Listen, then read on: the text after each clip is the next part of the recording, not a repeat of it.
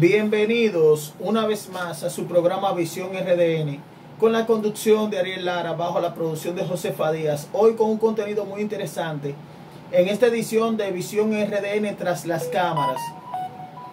En su versión, dímelo por WhatsApp. Hoy tenemos un invitado muy especial, quien es Amílcar Carrasco. Amílcar Carrasco es politólogo, es tecnólogo, también es una persona que ha desarrollado una carrera política en la UAS y en el Partido Revolucionario Moderno, así como es un erudito en lo que es la investigación privada o detective privado, el cual en un momento trabajó directamente con Ángel Martínez, siendo en ese momento los dos detective en cierto momento. A él lo traímos porque él nos va a revelar importantes informaciones acerca de, la, de los acontecimientos políticos y principalmente sobre Ángel Martínez. Primero quiero saludarte, América. ¿Cómo estás? Muy bien, Ariel. Gracias por la invitación al programa. A ti, a Josefina, que me da la oportunidad de dar una versión que pueda conformar la, la verdad. Sí, sí. Aquí estamos en esta versión contigo de Dímelo por WhatsApp, buscando nuevas in- eh, eh, innovaciones a, a lo que es la comunicación y agregando algo. Muy interesante, por cierto, ¿eh? y novedoso. Sí, América es, es un amigo con el cual nosotros compartimos directamente. América, quiero empezar primero con el tema político de Ramfi Domínguez Trujillo. Nosotros vemos ahora que él por el tiempo no pudo ir. Él había apelado en, la, en los tratados internacionales. Tú sabes que los tratados internacionales estarán a la par con la constitución siempre y cuando se viole un derecho fundamental. Y él fue a reclamar ese derecho, pero no había tiempo. Entonces Ramfis no ha apoyado directamente a Juan Cohen, que es el presidente del PNVC. Él no lo ha dicho hasta ahora. No ha dicho voten por, por Cohen. Entonces quedan dos candidatos, tres candidatos en el aire, que son Gonzalo Castillo, candidato presidencial del PLD, Luis Abinader, candidato presidencial del PRM, y el presidente Leonel Fernández de la Fuerza del Pueblo. Como tú eres un analista político, Ariel- dígame todo. Guillermo, Moreno y Manuel Reyes también. Sí, Guillermo Moreno e Ismael Reyes. Entonces, me gustaría contigo, ahora que estamos aquí eh, por, por la vía de audio, y voy y, y estoy haciendo la pregunta un poco extensa para que para no interrumpirte, que es lo correcto. ¿Qué perspectiva política tú ves conveniente para Ramfis Domínguez Trujillo, según tu análisis, ya que tú eres un analista político? Sí, Ariel, gracias. Mira, eh, tengo que hacer la salvedad porque en la presentación tú eh, me dijiste que yo era politólogo. Yo realmente fui estudiante de ciencia política, tú sabes. Sí. Lo que yo hago en política y el análisis es sobre la base de la experiencia y los estudios particulares, no estudios profesionales de politología. Bueno, pero tiene la Eh, praxis. Cabe la, cabe la observación también. Ahora bien, eh, mira, lo que pasó con Ramfis es algo que en política tú tienes que eh, ser muy cuidadoso. Sí. Tú diriges tropas, gente que cree en ti, que cree en, en la promesa tuya, en el porvenir. Cuando se presenta una situación como la de Ramfis, en la que la Junta no te aprobó la candidatura, tú te fuiste para los tribunales, llega el momento de las elecciones y tú todavía no has asumido ninguna posición, es peligroso. Ramfis en ningún momento le dijo a sus tropas que él no tenía posibilidad de ser candidato. Contrario a eso, lo, motivaba y lo, alentaba. Sí, nosotros vamos a ganar, nosotros vamos a poder, sabiendo que la realidad jurídica que se presentaba no se correspondía con el discurso. En cierto modo, eso genera un, eh, la gente se defrauda, dice, ya, este hombre me contó la verdad, por no decir que no nos dijo, que nos dijo mentira. por encima de eso nos orientó hacia dónde nosotros deberíamos de ir en un momento como este tan crucial que estamos batallando el poder ejecutivo para los próximos cuatro años. Entonces, los dirigentes medios y de base, ante una situación de desorientación de su dirigente, de su líder, toman posiciones particulares. Es decir, ellos deciden irse con fulano o irse con menguado. Si tú te fijas, te voy a coger la Galo como referencia, la de enero, porque de las encuestas fue la única que midió a Ramfis en enero. Sí. Ramfis aparece con cerca de un 5% y Luis Abinader aparece con un 42%. Cuando tú ves la cantidad de indecisos, tú ves por qué la Galo siguiente, la de ahora, la de julio, le da a un Luis Abinader por encima del 50%, porque la potencia, el, el, el potencial de Rampista, que en enero decían que iban a votar por Rafi, en junio ya estaban decididos por Luis. Cuando tuve el crecimiento de Luis Abinader, es porque una gran masa de esa gente de Rafi y de los indecisos se inclinaron a favor de Luis Abinader. Porque están apoyando el cambio, que fue lo que Rafi como gente no pudo identificar en el momento que él debió decir, bueno, ya yo no voy a ser candidato, déjame yo convertirme en un activo y no en un pasivo político. Porque en el momento que tú dejas que tus tropas decidan por ti y sus tropas se fueron por un lado y tú tienes que caerle a la tropa, ya tú no eres un activo, tú eres un pasivo. Ahora mismo, Luis Abinader pudiera decirle a Rafi, no, yo no quiero llegar a ningún acuerdo contigo. Y no pasa nada. Porque ya los rafistas tomaron la decisión de votar por Luis Abinader, no porque quizás Luis sea la mejor opción según sus criterios, sino porque ellos entienden que tenemos que salir del PLD y de Danilo Medina. Entonces, cuando tú ves que el líder no logra captar eso, se le fue el time, se le fue el momento, cuando debió tomar decisión, y lo que hizo fue convirtiéndose en un pasivo, él mismo estorbando futuros procesos políticos en los que él vaya a participar. Entonces, y ese, ese, esa es la perspectiva aquí que tú expresas. Y si Ramfi dice un ejemplo a Milka, haciendo, haciendo un ejercicio hipotético, si Ramfi dice entonces voten por el PNBC, ¿qué pasaría ahí? Políticamente fuera coherente, porque ese era el partido que lo estaba promoviendo.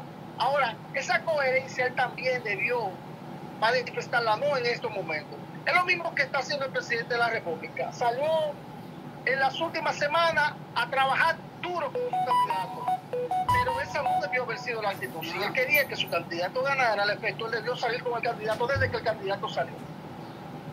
El presidente se abstuvo y dejó al candidato caminando solo. Entonces, si Rafi dice ahora mismo, vamos a votar por Cohen, está haciendo lo mismo. Se abstuvo, dejó que caminara solo y ahora está, por decirlo así, allantando. Sí. Amilcar, hay un tema que ha sido controversial porque hemos visto que esta es, la, es una de las pocas campañas a nivel mundial, señores, a nivel mundial, que no se ven tanto las propuestas de lado y lado. Eh, eh, o sea, han visto propuestas de lado y lado, pero se han visto opacadas con el tema, tú eres un narco, tú eres una, eh, yo soy un narco, tú eres un corrupto, yo soy un corrupto y así por el estilo. Ya todos saben a quién se ha mencionado, a quién no, todo el mundo sabe eso. Ahora, hay una persona la cual tú tenías vínculos estrechos y llegaron a trabajar juntos en algunas ocasiones y es el detective Ángel Martínez. Incluso cuando él venía a la UAS, tú eras, tú una de las personas que lo guiaba, le presentaba personas y tú eras una persona que te, te ha mantenido firme en tus convicciones. Me gustaría, me gustaría en esta pregunta, eh, sí. para, para llevar la idea y que el público nos siga.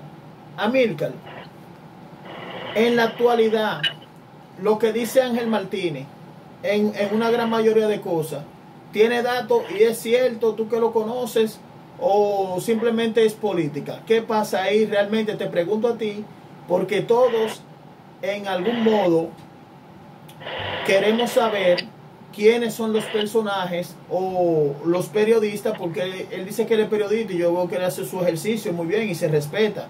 También digo aquí, antes, antes de terminarte la pregunta, que él también tiene el espacio de una manera equilibrada para decir cualquier cosa. porque es un espacio democrático. Ahora, Milka, ¿cuál es tu percepción acerca de eso?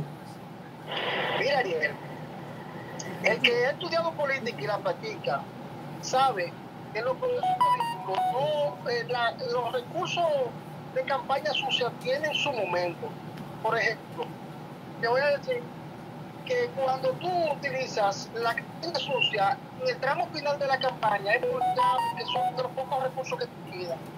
Sin embargo, los estudios que se han realizado sobre la campaña sucia han determinado, han arrojado que cuando la campaña sucia se hace al final de la campaña, tiene un resultado negativo para quien la hace. Sin embargo, si esa campaña sucia se monta con mucho tiempo de antelación, el resultado es negativo para, para a quien se la hace.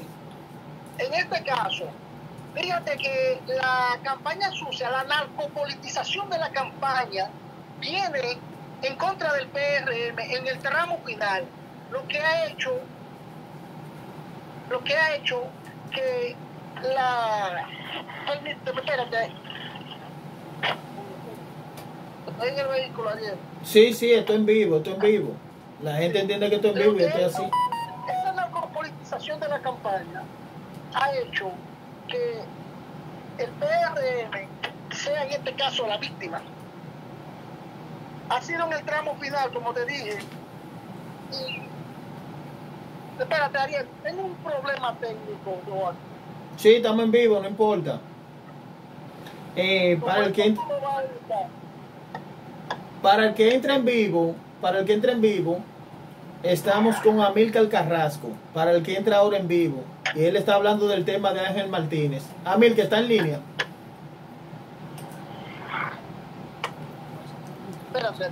Sí, claro. Eh, Amilcar Carrasco está hablando varios temas como analista político y como detective. Es una persona muy versada en ese sentido y nos está dando información acerca del detective Ángel Martínez. Ya que nosotros abrimos el medio a todos en igualdad de condición, también Ángel puede llamar, las puertas están abiertas y todo el mundo aquí eh, equilibrado, realmente un equilibrio, no como dicen por ahí, no como dicen por ahí de que eh, todos invitan dos tres, no, no, no, este programa equilibrado. Ok, sigo, Ariel. Sí, sigue, Emilio. Entonces, ¿qué resulta? que quien ha decidido narcopolitizar la campaña ha sido el PLD, como recurso ya último extremo ante una desenfrenada derrota, una derrota que no tiene freno, tan rumbo a, a, a, a perder. Sí. Entonces, utilizar como recurso y realmente le ha hecho daño. ¿Por qué le ha hecho daño? Porque así lo han expresado las encuestas.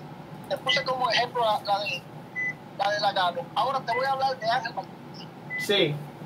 Cuando Ángel Martínez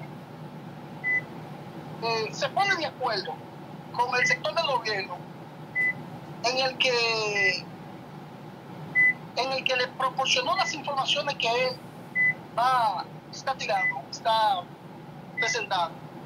Fue, eso fue en febrero de este año.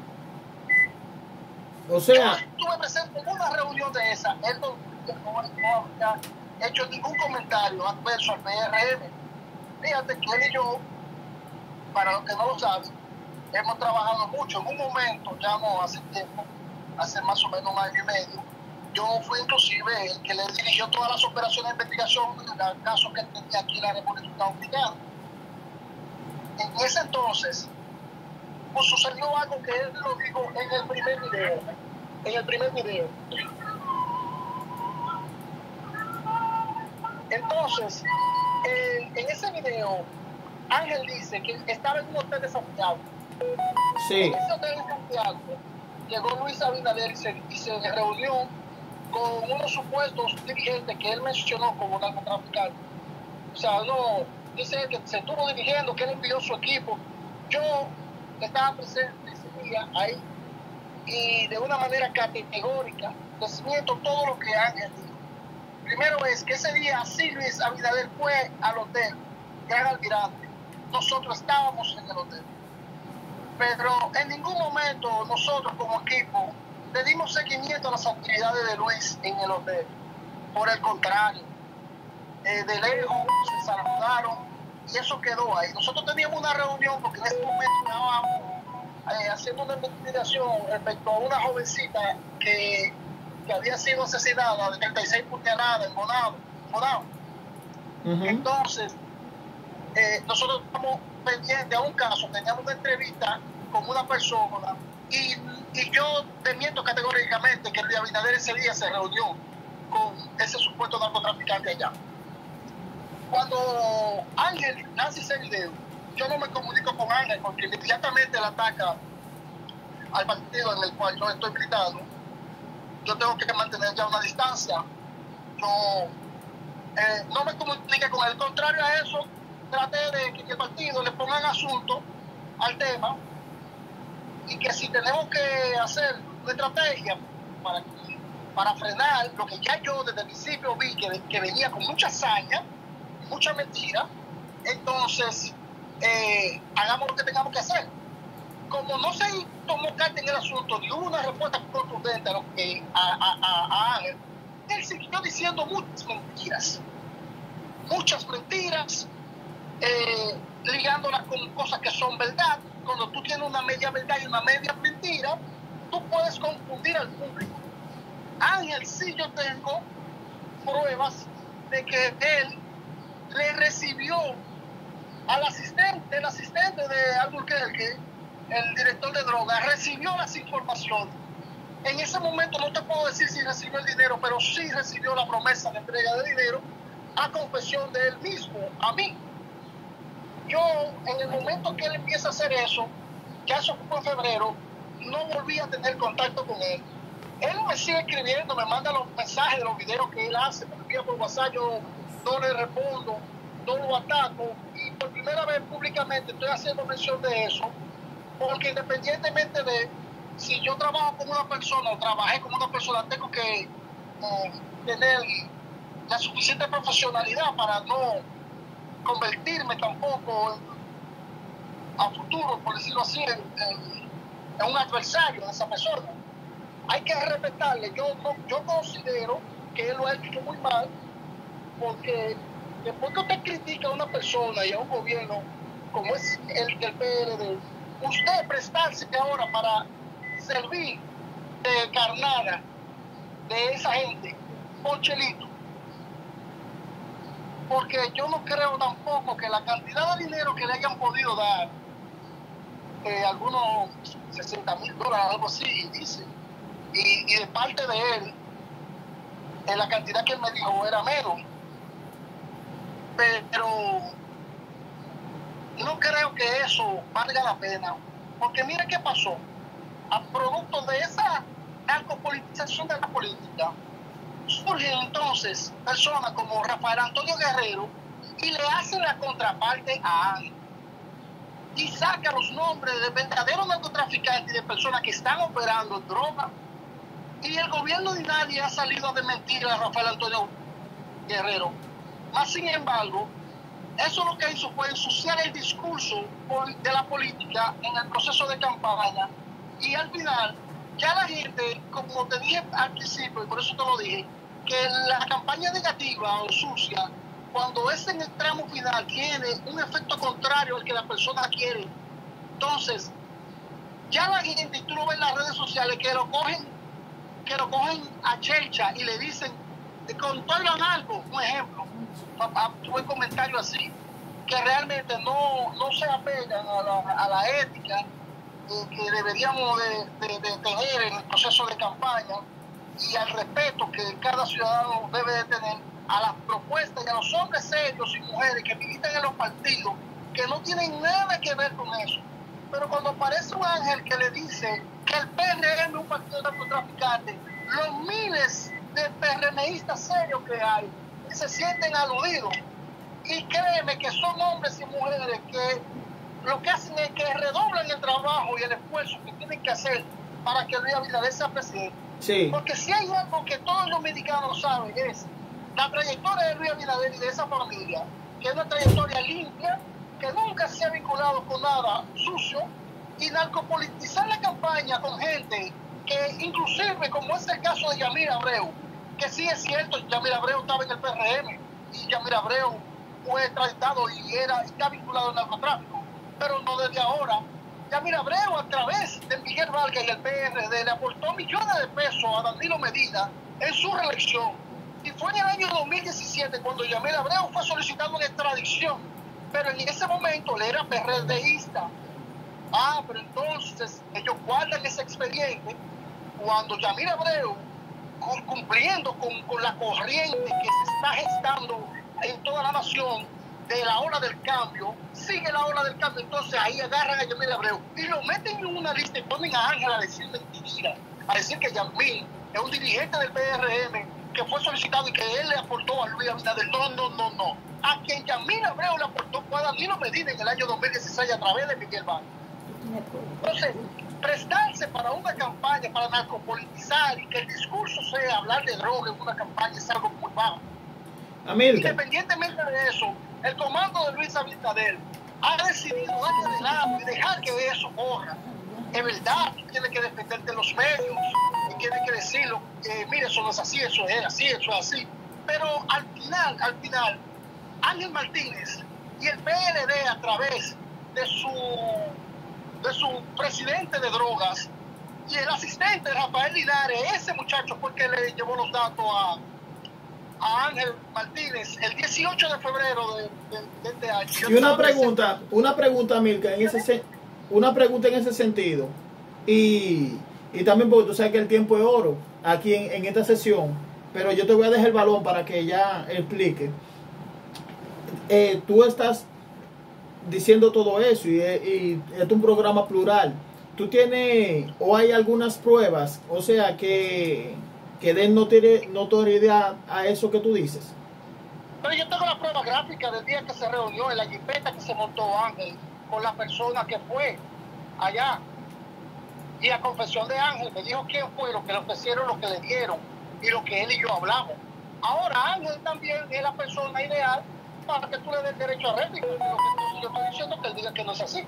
Ahora bien, vuelvo y te digo, eh, cosas, cuando te refieres a pruebas, te refieres, por ejemplo, como qué? O sea... Porque todo lo que yo te he dicho son cosas que han sucedido, no, yo no te estoy, inventando, los medios lo han publicado. En el caso de Yamil y en el caso de lo que Ángel ha dicho, lo único que yo te pudiera decir es que yo tengo sí la prueba gráfica del día en el que esa persona fue en ese vehículo al Dominican Fiesta y se reunió con Ángel. Y yo estaba ahí, no en la reunión con ellos, pero estaba ahí afuera donde estaba el vehículo. Lo que se entregó, si se entregó, no sé. Yo sí sé que Ángel se desmontó con una soja en la mano y ese mismo día hizo un programa contra Rafael Antonio Guerrero, Pera, eh, a Guerrero, eh, atacándolo. Ese mismo día, con un supuesto expediente que él entregó.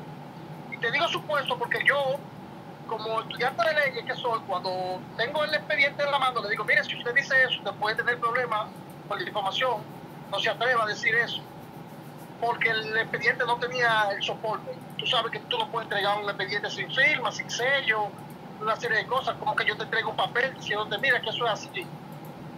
Y tú te pongas a hablar de eso, tú dices, no, pero ve acá, Milka, eh, ese papel no está firmado por la autoridad correspondiente. Sí. Amilcar, ya en esta parte final, yo quiero que tú le digas a la gente, eh, como dirigente político, ¿por qué en esta coyuntura votar por Luis Abinader, ya que tú eres de ese partido? ¿Y qué se espera el 6 de julio? Ah, otra cosa, muy importante. Se han preguntado de ambos lados, le han preguntado a Gonzalo que si él aceptaría los resultados y Gonzalo ha dicho que sí. En tal caso, si gana Luis Abinader. Lo mismo haría en un sentido el PRM si ocurriese lo contrario. Nosotros siempre hemos aceptado los resultados. El PRM anteriormente los que venimos del PRD, porque el PRM tiene muchos dirigentes que no vienen del PRM. Pero siempre hemos aceptado los resultados. Y al respecto, nosotros tenemos ahora algo que nunca ha sucedido en el tiempo que tengo yo en política. A nosotros las encuestas todas en su mayoría nos están dando ganadores. ¿Qué te quiero dejar dicho eso? Mira, la Gallup ha sido una encuesta que se entera diciendo quién va a ganar cuando menciona su última encuesta. Esa la mano dio a nosotros ganador en el año 2000, después en el 2004, 2008, 2012, 2016. Siempre dijo quiénes eran los que iban a ganar. Solo que ahora, en el 2020, nueva vez lo está señalando. Lo está señalando con ella 16 encuestas más. Ahora, ¿por qué yo te digo la encuesta? La encuesta son estudios científicos. Tienen su margen de error. Ellos no te van a decir con precisión 53.4, un ejemplo, y eso mismo va a sacar, no, no. Pero cuando tú agarras el conglomerado de la 50 y dices, ¿por dónde está señalando? Ah, es por aquí. Ahora, eso que tú me estás diciendo que está eh, Gonzalo diciendo que él va a aceptar, que espera que a lo contrario yo también. Tengo para decirte que hace dos días Gonzalo habló públicamente sobre un fraude que ellos tienen montado, metiendo 10 votos por mesa. Cuando tú multiplicas eso dentro de las 16 mil mesas, estamos hablando de lo que él dijo, 175 mil votos. Son 175 mil votos adicionales. Cuando tú lo divides entre 30 mil, estamos hablando de 5 puntos. Esos 5 puntos son 5 o 6 puntos, son más para él y menos para el otro. Y si es cierto que ellos tienen ese fraude, ya nosotros lo tenemos descifrado, cómo es que ellos piensan hacerlo. Si ellos logran materializar ese fraude y las autoridades competentes, en este caso la Junta Central Electoral, no toma carta en el asunto y se materializa, aún así, con todo y eso, ellos no tienen la capacidad ni siquiera de acercarse. Pudiera provocar, en dado caso, si tenemos un 53, eso se traduciría a un 47. Si él tiene un 35, eso se traduciría a un 41 y cuando tú agarras esos números, tú dices, ve acá, pero aquí hay encuestas que están validando ese fraude. Porque si 17 encuestas te están diciendo a ti que el día Abinader tiene un 52, 53, 54, y hay tres que dicen que tiene 41, 45, 42, 47, es porque esa encuesta está validando ese fraude. Entonces, eso es importante. Lo que yo te estoy diciendo, inclusive, es una primicia a nivel nacional. Si, si es cierto que ese fraude está montado como el efecto, lo dijo públicamente el candidato presidencial del PLD, y se manifiesta, esas firmas encuestadoras que están ahí también tienen que ser cuestionadas. No solamente quienes se prestaron para hacer el fraude, sino también aquellos que se prestaron para darle validez a la opinión pública. Y eso es algo muy importante que hay que tomar en cuenta. Es peligroso porque lo que estamos viendo es un Partido de Liberación Dominicana que de manera despiadada está haciendo todo lo que ellos puedan entender que pueden hacer por encima de la ley. Y eso nosotros aquí en la República Dominicana no podemos permitirlo bajo ningún concepto. Pero aún así, con todo y las mañas y las artimañas, que fue la palabra que utilizó Gonzalo, la República Dominicana está puesta y dispuesta para dar un cambio en el año 2020, tal cual en el año 1978 se manifestó en la urnas y se venció en ese momento el fraude de, de Joaquín Balaguer. Y Ahora, ahora estamos ante un, ante un sistema de doble vuelta y en la doble vuelta todavía peor. Si ese fraude se manifiesta, ellos logran reducir nos vamos a una eventual segunda vuelta, en la segunda vuelta tendrían que hacer ese fraude por tres, cosa que es imposible y como quiera nosotros vamos a ganar y Luis Abinader el próximo 16 de agosto estará con la banda tricolor en el pecho, juramentándose como presidente de la República. Eh, muchas gracias, Milka, por este conversatorio. Te vamos a, a citar el día después de, de las elecciones para hacer un análisis de toda la perspectiva que pasó. Vamos a reunir un equipo de analistas políticos eh, de manera presencial y vamos a hacer un programa especial con todo lo que ha pasado. Muchas gracias por tu participación. Este programa es tuyo y del pueblo dominicano. Muchas gracias a ti, Ariel, y a Josefina por su invitación. Que pase buena tarde a todo el público también. Muchas gracias, Milka. Hemos visto aquí en este conversatorio ya lo que ha dicho el analista político y también investigador Amílcar Carrasco. Este programa es plural, abierto. Si Ángel Martínez, vuelvo y repito, los seguidores lo pueden etiquetar a él, que siempre lo etiquetan. Si él quiere también hacer su réplica, aquí está abierto. Esto es un programa plural, no un programa de partido político. Y es una tribuna democrática, como diría Peña Gómez. Señores, activen la campanita. en el super chat también, lo que quieren hacer crecer el canal. Síganme en esta cuenta, Ariel Lara RDN, Visión RDN, en Facebook Visión RDN. Cuando ustedes le den a la campanita, activen todas las notificaciones. Y como siempre le digo, hasta la próxima.